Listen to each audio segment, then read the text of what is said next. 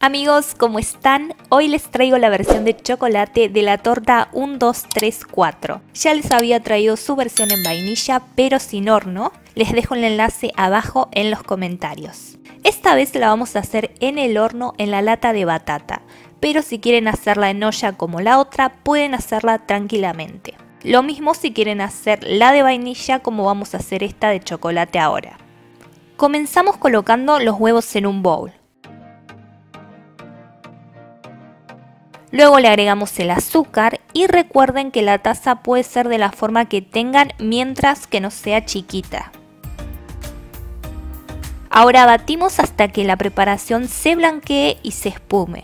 Con un batidor más o menos nos va a llevar 5 minutos y si lo hacemos con batidora eléctrica, bueno, nos va a llevar mucho menos.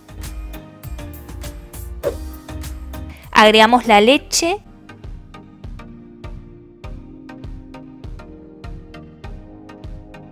integramos.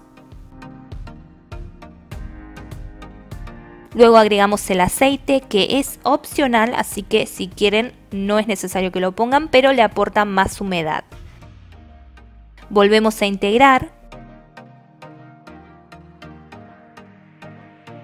Y ahora tamizando agregamos los secos, que son harina 4.0 de todo uso, cacao amargo y polvo de hornear.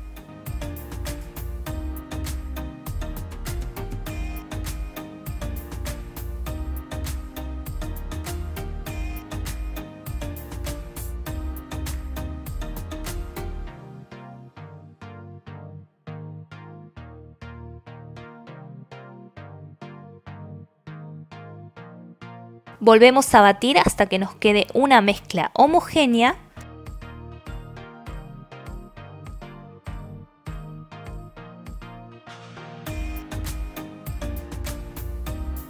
Y volcamos en la lata que previamente tiene que estar aceitada y enharinada.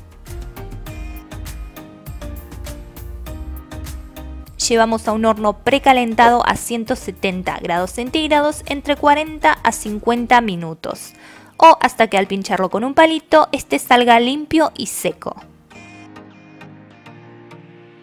Esperamos que enfríe y desmoldamos. Decoramos a gusto, yo solo lo espolvoreé con azúcar impalpable. Y listo a disfrutar de esta torta tan deliciosa como simple.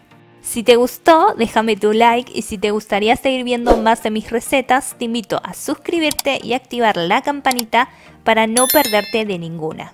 Nos vemos en la próxima.